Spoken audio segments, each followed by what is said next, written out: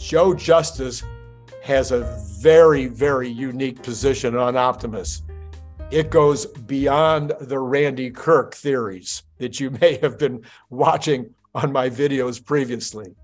Hi, this is Randy Kirk, in case you didn't know. And if you've enjoyed this series and if you think you're going to enjoy this, hit the like button now, or you can wait till later and hit it when you know you liked it. Um, subscribe and, because we're going to get Joe Justice back. He's promised he'll come back.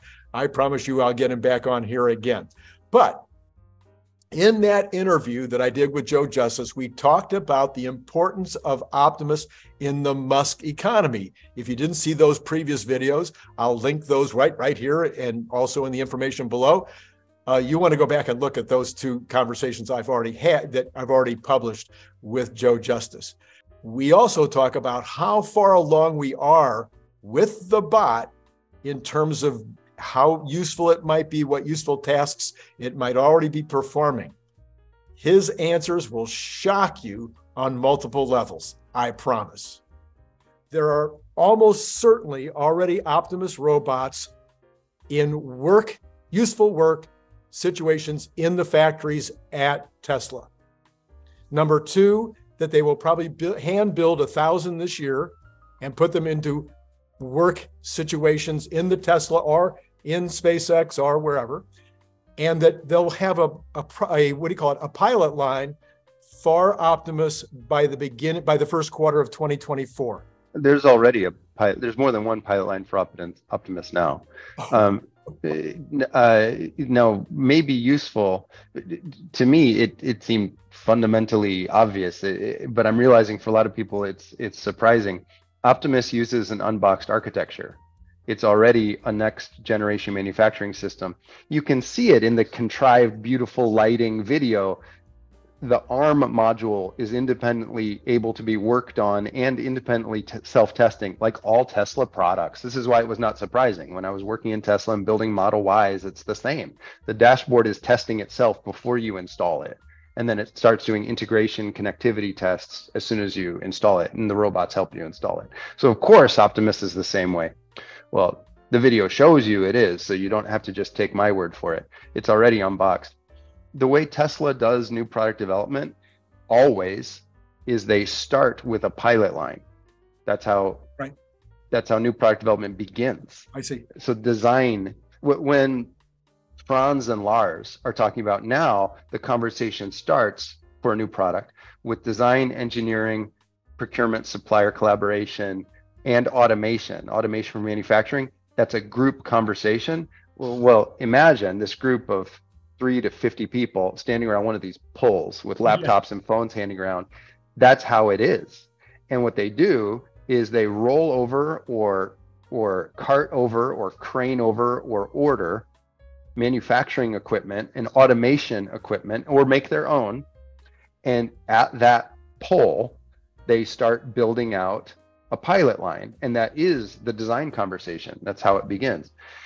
Now, even better than that, there's a lot of things that most of us think of when we think of Optimus that have existed in Tesla in many other forms for years. They just don't look the same. So the software that runs Optimus is the same software that enables self-learning on most of the existing robots. Right.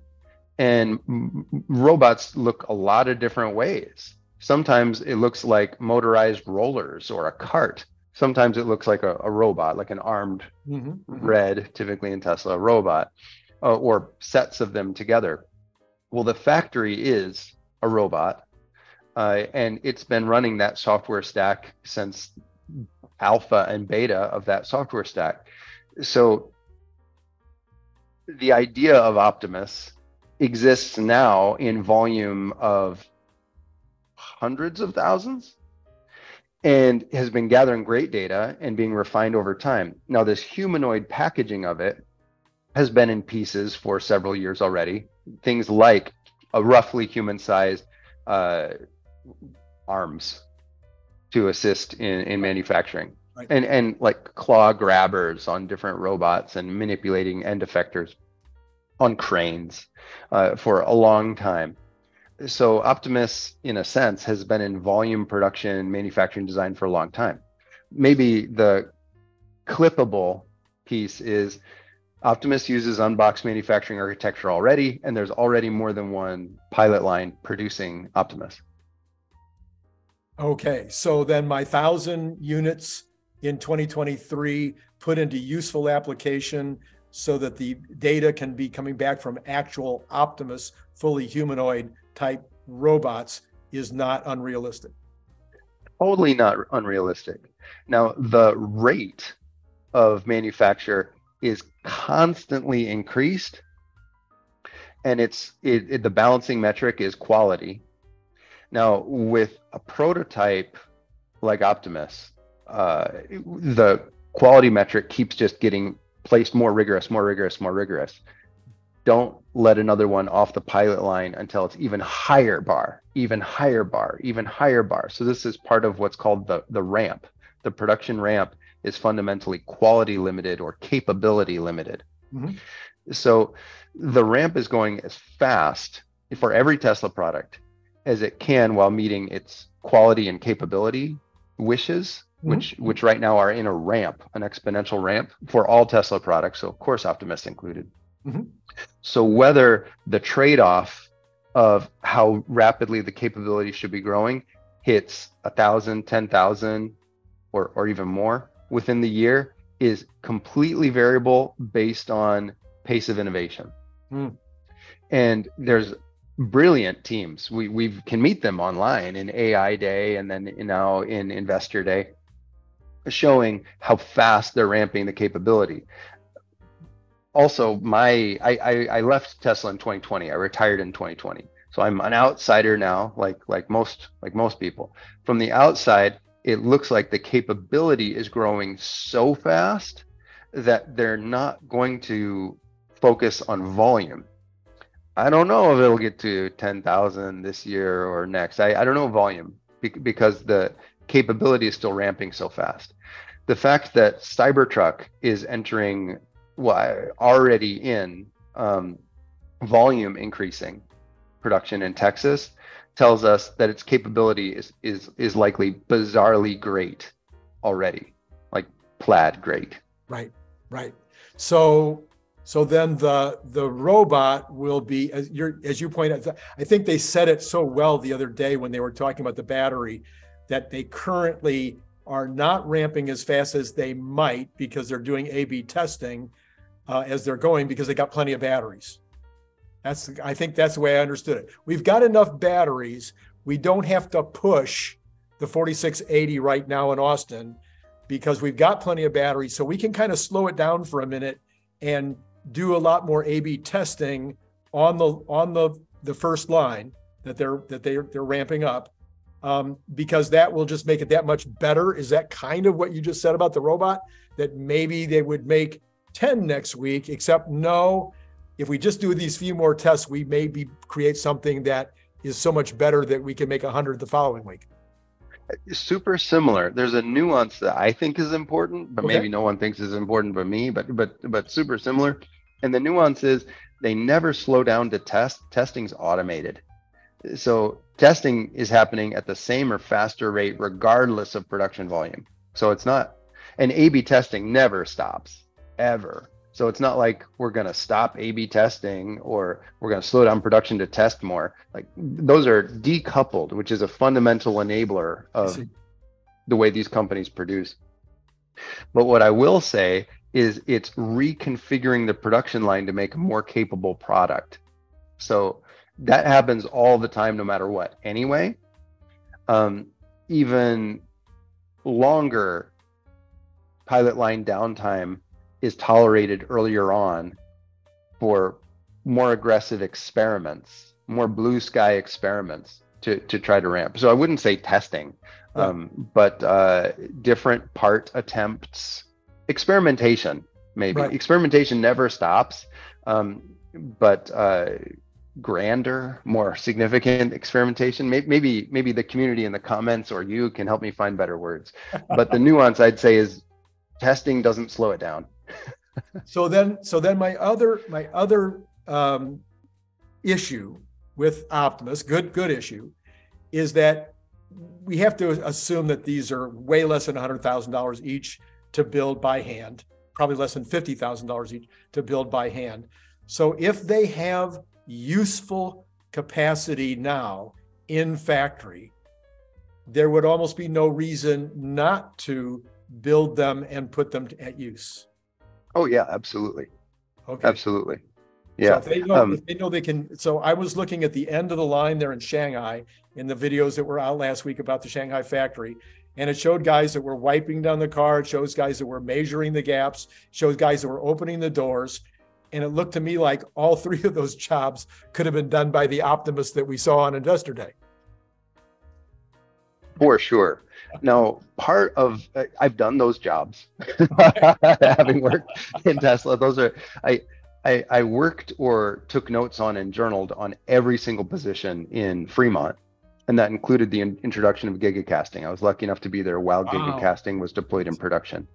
Um, so I've gotten to live those stories.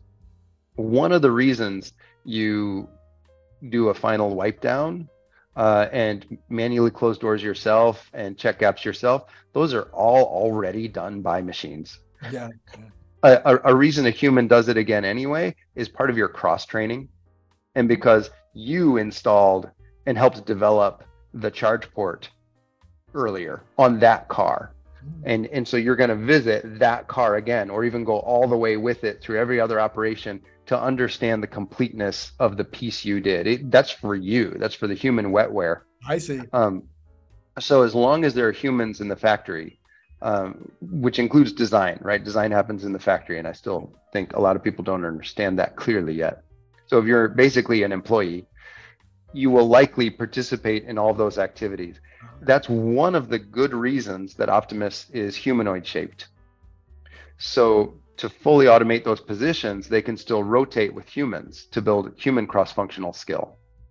Uh, they, they could look like some crazy lobster arachnid thing, and that might honestly be better. I, I don't I don't know. It could, in theory, be better. Um, imagine the factory full of gel and these dolphin-shaped robots do everything. Like that might that might be the optimum. Yeah, yeah. However, it's then not backwards compatible with humans. And uh, trying to make a desirable future is one where humans can continue to interact where we want to, right? So those positions are already fully roboticized um, but but to your point, there is massive amount, especially in production ramp when things change very fast, that are done by human hands mm-hmm. as automation is introduced. Mm-hmm. Uh, that can be skipped entirely or blended with humans as it all becomes optimized for Optimus. The future of of Tesla um, is good. I love the clarity. I love the clarity of your speech. so, so um, Joe, I would uh, love to have you back anytime on my channel. I, I, I, I, my goal with you today, and I hope I reached it, was to talk about stuff that nobody else has talked about. Uh, I do it from the standpoint of somebody who has been in manufacturing. Um, for 30 years of my life, I was a manufacturer, and so get a little bit of it. Nothing on the level of what you or, or Elon do, but it's a it's a help to have at least a little a little bit of background doing it. Um, so I, I, appreciate you coming today, and I do hope that you'll come back on a, on another chance. Randy, with your consulting, and for everyone who might be listening or watching this, uh, something really exciting happened recently for Tesla which is they've very publicly again invited other companies to be part of this radical growth story towards hopefully a more exciting future for humanity. This happened before Musk saying more companies please get into tunneling. Oh. Nobody did. So Musk said, "All right, we'll make the boring company." And now there's a Musk company in it innovating faster than anyone else and they're the largest growth tunneling company in the world and ever in the history of tunneling. Well, Musk has said again and and not just Musk, many other staff members. Here's another opportunity. Do you want to get into it? And that is hydrogen and massive heat transfer, different types of heat pumps, including extremely large scale for industrial operations, and, and also mining. Musk Yes. has said we do have prototype mining operations that are already the best in the world, and we are sharing how they operate with other companies who are interested in getting involved. We don't have to do it all ourselves. So we have this window of opportunity to do some hard work and be part of this awesome story. So your companies can contact you for support on this for consulting. Maybe some people will take my classes. I'm at There you go. abi-agile.com. Uh, and more people can be part of this story. Randy, it's my pleasure rocking with you and your audience today. Thank you very much. All right, thank you as well. So, if any of this was useful, as I said at the beginning, you know what to do like and subscribe and all of that jazz. And as usual, thank you again, Joe Justice. And it's been great talking to you. Click the link below to get your paperback, Kindle, or audiobook now.